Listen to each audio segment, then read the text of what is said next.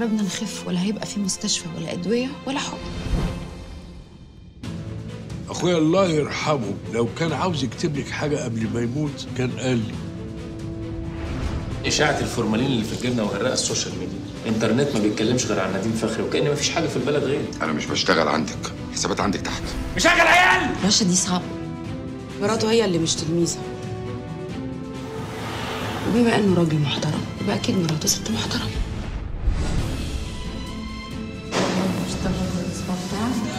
في كل حاجة فوق بنتي فين يا حازم؟ في إيه؟ ما تفهميني. أنت اللي تفهمني بنتك بعت المسج دي ليه؟ اللي يمس شعرة من بنتي هاكله بسناني إن شاء الله يكون مين؟ مين ده؟ نديم طب مجنون استنى. والله ما ليا دعوة هو وليد هو اللي قال لي إنها سهلة تتشقط عادي يعني.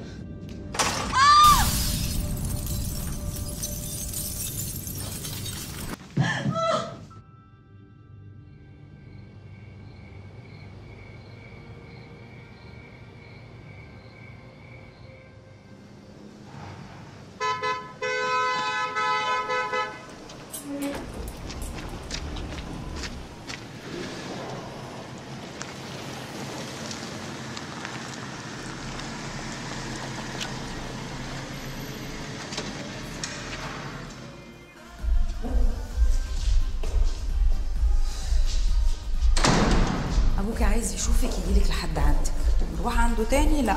Okay؟ أنا أصلا مش عايزة أروح له تاني. حبيبي. مين ده اللي ظابط ميعاده علينا؟ معرفش. اطلعي يا حبيبي اوضتك وشوفي المهرجان اللي بيحصل فوق. Okay. أهلا رامي.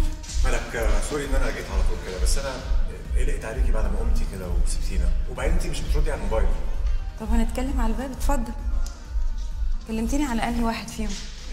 جالك عليه message غريب كده وقمتي فجاه sorry ما خدتش بالي ها عملت معانا إيه؟ تمام كله كله تمام. هي قفشت شوية لما مشيتي. لا اكمنها ما خدتش ال deposit اللي كنا متفقين عليه. هي إيه حكايتها؟ هو إحنا هنطير ولا هنضحك عليها؟ تصدق إني ابتديت أشك فيها؟ لا لا. أميرة ما بتلعبش. أمال مالها هتموت على الفلوس كده ليه؟ في ناس كتير حواليها هيقبضوا. انت فاهمة يعني إيه هتخليه يخلع مراته؟ طب يبقى فكرني بكرة اكتب لك الشيك. تعالى نشرب حاجة. لا أنا آه آه لازم أجري. بس thank you آه في حاجة تانية حصلت آه بعد ما نزلتي من الايجنسي على طول. آه بس أنا آه، قلت أستنى لحد ما ال meeting بتاع أميرة يخلص وأقول لك عليها. خير. الإنذار ده جه بعد ما نزلتي على طول وأنا استلمته. إنذار؟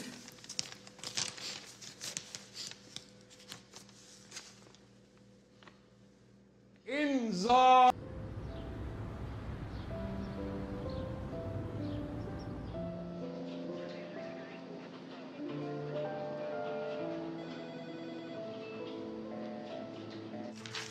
لا ما فهمتش. ماشي نقول كمان. الحكاية وما فيها إن المحكمة خدت عقد البيع اللي عمله لك المرحوم والدك وحولته الخبير بسبب طعن عمك عليه بالتزوير. قام المحامي بتاعه واخد صيغة القرار وعمل بيه إنذار ووزعه على البنوك والغرفة التجارية وبما فيهم حضرتك بعدم التصرف في الممتلكات لحين البت في قرار الخبير. يعني إيه؟ يعني أنا أروح البنك عشان أسحب فلوس؟ يقولوا لي لا سوري عمك منعك من التصرف بأموالك. ده في حالة لو مدير البنك خد بالإنذار واعتبر إن في نزاع على التركة وما حبش يدخل نفسه في مشاكل. نزاع إيه ومشاكل إيه أنا مالي بالكلام ده يا أستاذ جلال؟ هو أنا ذنب إن أبويا كتب لي كل حاجة باسمي قبل ما يموت؟ لا مش ذنبك. بس ذنبك إن ليك يا عم مش مصدق اللي حصل وعايز يحشر نفسه في التركة بأي شكل من الأشكال. مش عارفة أقول له إيه ولا أعمل معاه إيه ده. ولا تقولي ولا تعيدي. هي كلها أسبوعين بالكتير وقرار الخبير يطلع. والدعوة كلها تترفض من أولها وكأن شيئا لم يكن. إيه الطمع اللي بقى في الناس ده يا أستاذ جلال؟ لا وإيه؟ امبارح جاي لي البيت يهددني وآخر النهار بعت لي إنذار. على فكرة الإنذار ده ولا ليه أي لازمة. دي هي أي غلاسة والسلام. سوري لو قطعت حديثكم. لا خدي راحتك. إحنا ما كناش بنقول أي حاجة مهمه قصدي يعني خلصنا الكلام المهم. أيوه. ما علينا. في واحد بره بيقول إن انت تعرفيه ومحتاج يقابلك ضروري. مين ده؟ بيقول اسمه الليسي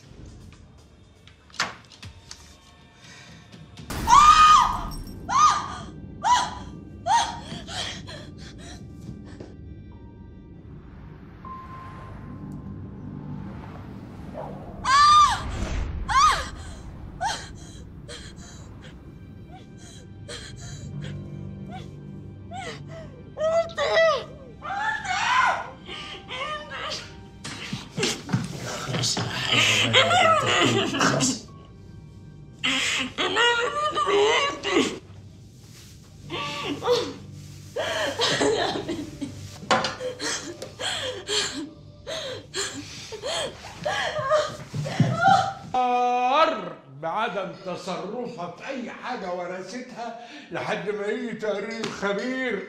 بس انت متأكد انها زورت قلدة أخوك؟ طبعا.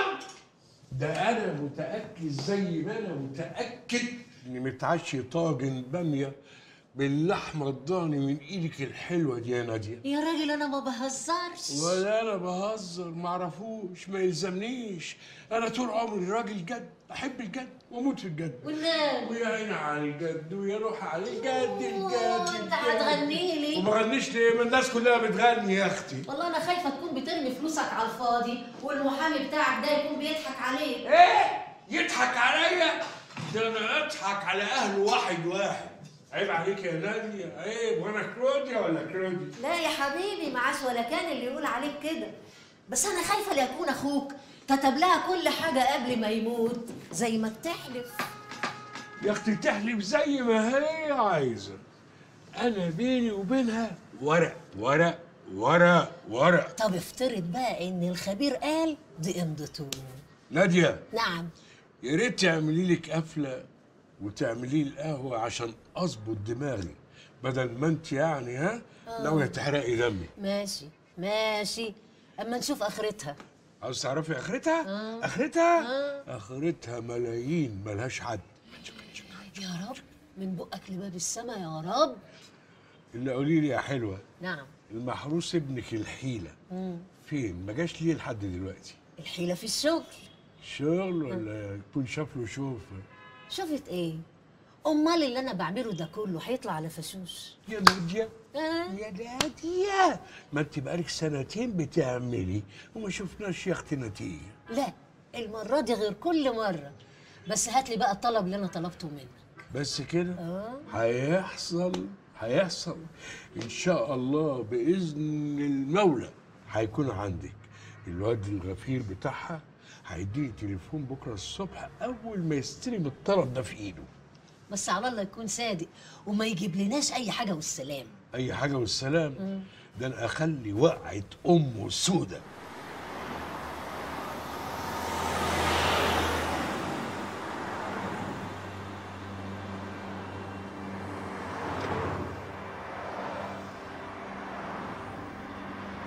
يا نديم حرام عليك. قلت لك كنت شاربة ومش في وعي فجأة لقيت نفسي بعمل كده. انت إيه يعني؟ عمرك ما غلطت؟ أنا اول مرة في حياتي اعمل كده. أنا عمري ما خنتك. رغم اني عارفة ومتأكدة انك خنتني كتير.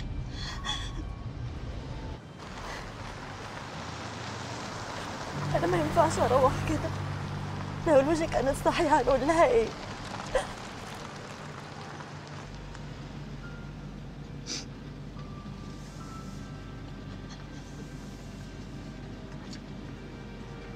بليز نادين إحنا في ورطة كبيرة قوي. لازم نهدى ونفكر بالعقل. أنا خايفة يكون حد شاف عربيتك عند فيلته ولما يلاقوا جثته يوصلوا لنا وتبقى مصيبة. دول حتى ممكن يتهموك بقتله. لو كان مات لو كان عايش بقى تبقى مصيبة أكبر. انزلي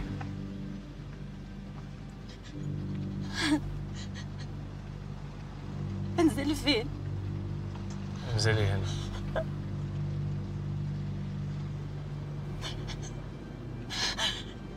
نادين طب خلينا نروح. طيب. لا يا نادين بليز.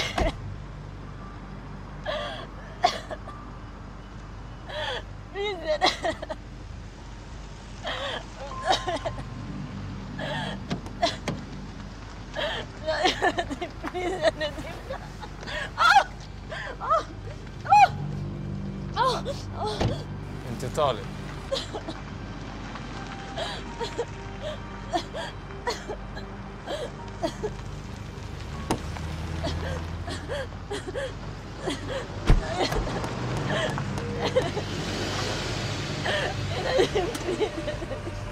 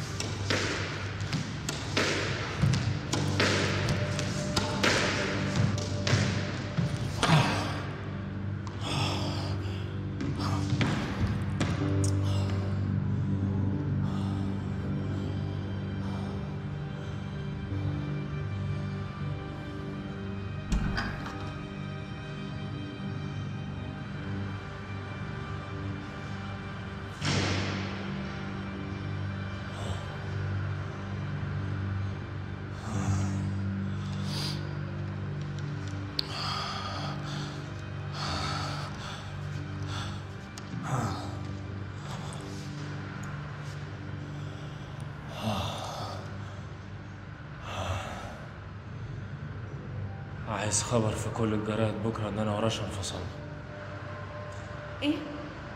ويتقال جوه الخبر إن إحنا منفصلين من زمان بس كنا مأجلين إعلان الموضوع. طب هو إيه اللي حصل؟ اعملي اللي بقولك عليه من غير أسئلة. أوكي؟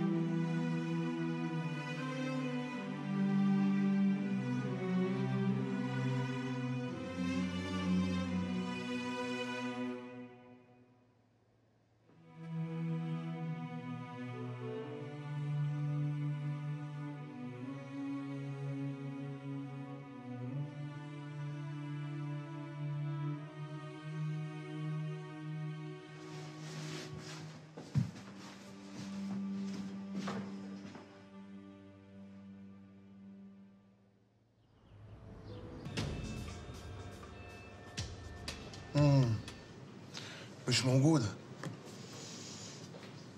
أنا قلت كده برضه. أو هعتبر فعلا إنها مش موجودة. على العموم لما تدخلي لها كمان شوية وابقي سلمي لي عليها. وقولي لها إن أنا مستني كل اللي اتفقنا عليه. وخليها تنجز. بدل يعني ما الطلبات تزيد. أوكي. انت صح مخطوبة ولا متجوزة؟ أظن دي حاجة ما تخصكش. صح تمام. حاجة ما تخصنيش فعلا. حاجة ما تخصنيش يعني. انت قلت لي اسمك إيه؟ ما قلتش. آه. طيب. Nice to meet you يا أستاذة ما قلتش. آه.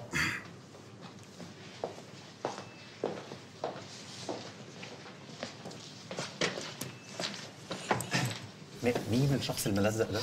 معرفش. طب وكان عايز إيه؟ عايزه أقابل ملك. وهي؟ قالت لي لو جه هنا تاني يتقال له مش موجودة. طب وهو يعرفها منين؟ ولا هي أصلا تعرفه منين ده؟ يا رامي ما قلت لك ما أعرفش هنقعد نعيد ونزيد. ما هو انت مش ملاحظة متغيرة معايا شوية. رامي ممكن حساسيتك الأوفر دي بلاش دلوقتي؟ يعني راعي إن اليومين دول أنا ظروفي مش قد كده ومتلخبطة. فبجد مش ناقصاك أنت كمان. أوفر؟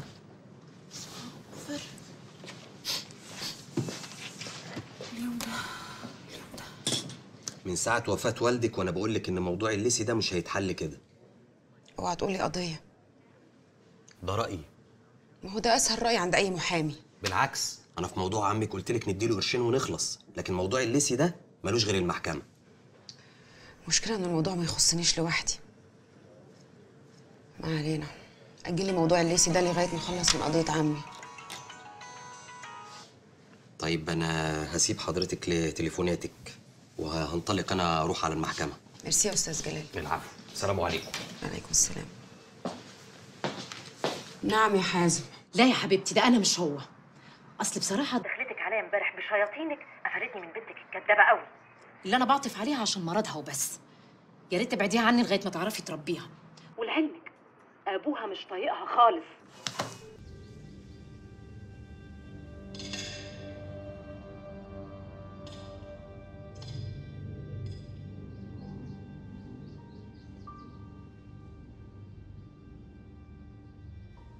بابي انت ليه ما بتاكلش؟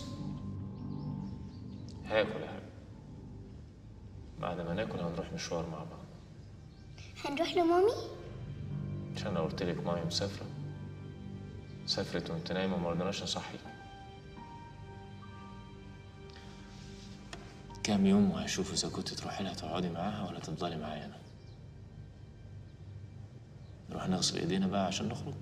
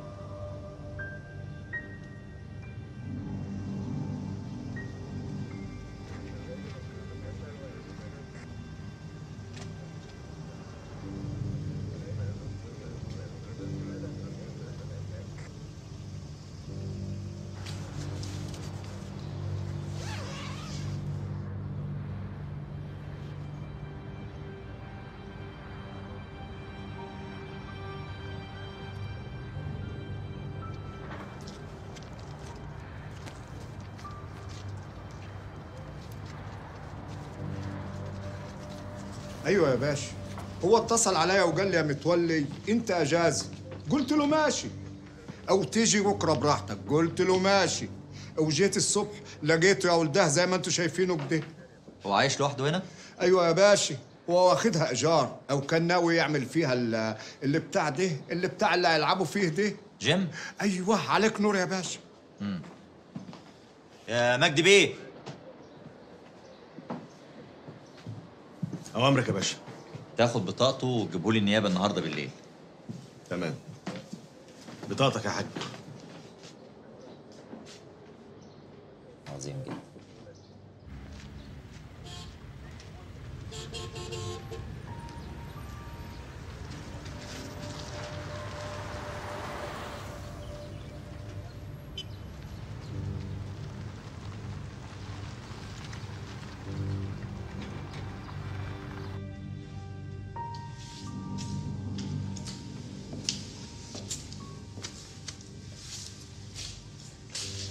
التحليل ده يطلع إمتى؟ اديني كام يوم كده وأنا أقول لك النتيجة. بس أنا وجهة نظري البنت ما ينفعش تعيش معاك اليومين دول. أعرف النتيجة الأول وبعدين أقرر. حبيبي أنا ما بتكلمش على كده. أنا بس بقول إن وجود البنت معاك وأنت في الحالة دي مش كويس عليك ولا عليها. علشان كده أنا هاخدها معايا البيت. لحد ما نتأكد بس نعرف إن هي من دمنا ولا مش من دمنا. وساعتها نفكر هنعمل إيه. وتقول إيه لمراتك؟ أكيد هتعرف إن في انفصال. لكن تأكد الكلام اللي أنت قلته لي هيفضل سر بيننا طول العمر. وإذا التحليل قال إنها مش بنتي. يا أخي ما تسبقش الأحداث.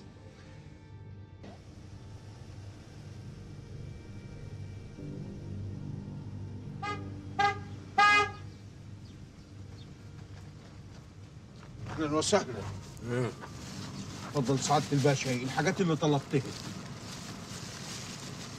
اوعى تكون مش بتاعتها وجايب لي حاجة من عند جماعتك. عيب يا سعادة الباشا الله أنت بتكلم راجل. هنشوف. حكم أنا ليا طريقة بعرف بيها الراجل من العيل الصغير. ويا ويلك وسواد ليلك. لو طلعت بتزاك عليا. طب وكتاب الله يا باشا وكتاب الله الحاجات دي بتاعتها وتخصها وما تخص الجماعة بتوعك. خلاص يا عم ده حلفت هصدقك. خد امسك. خيرك مغرقنا يا باشا. يا عم خيرك. مغرقنا والله. انت لسه شفت حاجة؟ يوه الحاجات دي كلها لسه فاكة تصبيرة. إنما بقى وعدي مني هتشوف الفلوس اللي بجد. توكل على الله توكل على الله يا. باشا. إيه؟ في إيه؟ بسرعة بسرعة يا باشا طيب في إيه؟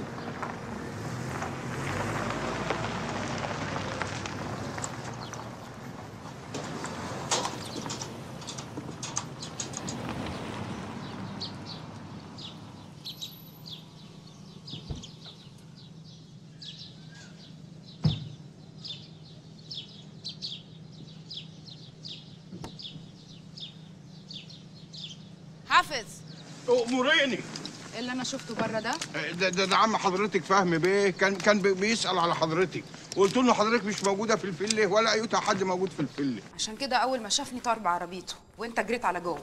لا حضرتك هو وقف جنب سور الفله وقعد يكلكس يكلكس بالعربية. لقيته عم حضرتك فهمي بيه. بكلكس طيب يا حافظ معاك ساعة تلم فيها هدومك وتتكل على الله. مش ساعة برضو تكفيك؟ أنا ما عملتش ايوتا سمعتني؟ وكتاب الله ساعة! اللي حضرتك تشوفيه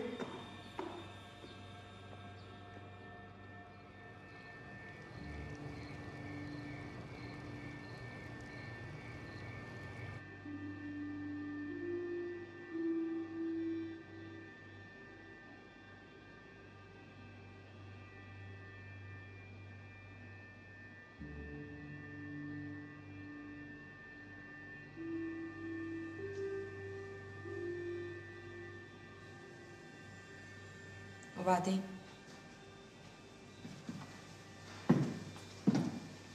هنفضل كده كتير